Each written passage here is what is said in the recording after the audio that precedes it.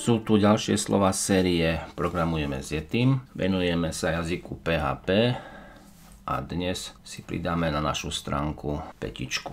Veď si dáme vyhľadať na stránke Logomaker nejaké logo. Tento raz to bude Darwin. Vyberieme si túto rybu. Dáme si ju urezať. Pretože chcem použiť tento raz tmavú petičku, tak môžem zmeniť farbu na bielu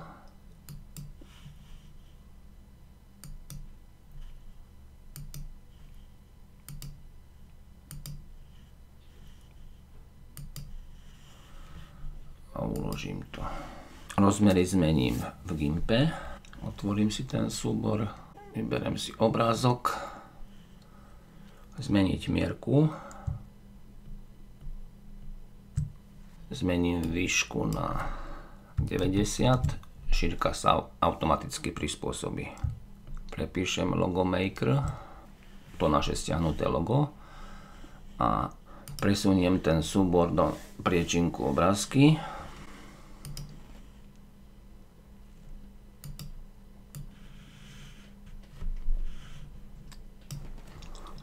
premenujem ho na logo 2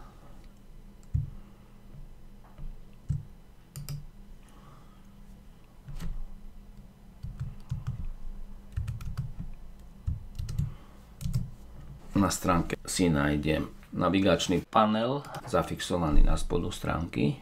To je petička. Skopírujem text.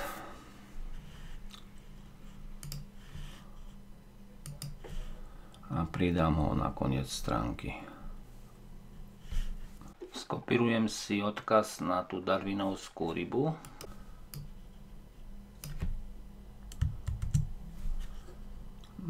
Text bude logo maker. Pridám sem ešte ten obrázok. Nachádza sa v priečinku obrázky, logo 2, typ PNG. Spustím si server na localhoste 3000. Mám tu tú petičku. Vidíme, že keď stránku ešte viacej približím, tak tá petička sa nehybe, je pevná nevyhovuje mi farba a ten nápis sa nám stratil. Kliknem, musím zmeniť ešte aj tú adresu, aby to bola absolútna adresa. Zmeníme to na info. Pridáme tu biely text.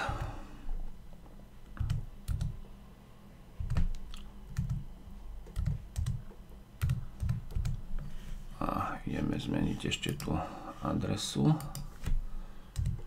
http dvojbodka. Uvidíme či tam bude treba aj www uložíme. Už je to lepšie. Ukážem si to ešte ako to vyzerá normálne bez priblíženia. Približím to viacej.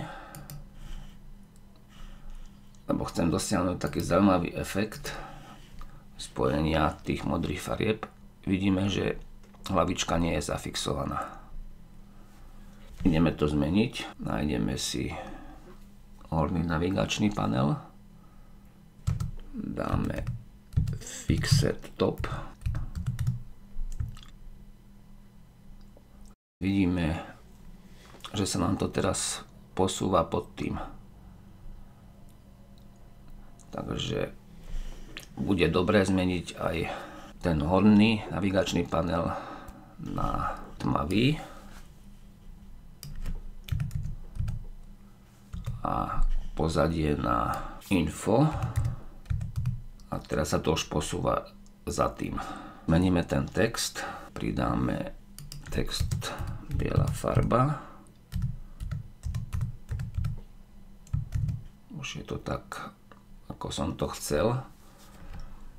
Ešte si ukážeme zaujímavú vlastnosť Keby sme tu dali sticky top a presunuli ten navigačný panel dovnútra kontajnera. A skôr sa bude ten horný navigačný panel posúvať. Ale ako náhle dosiahne horný okraj, tak tam zostane. To je sticky top. Môžeme to tam aj nechať, však keď sa už ten navigačný panel nachádza úplne hore, tak sa nemá kam posúvať.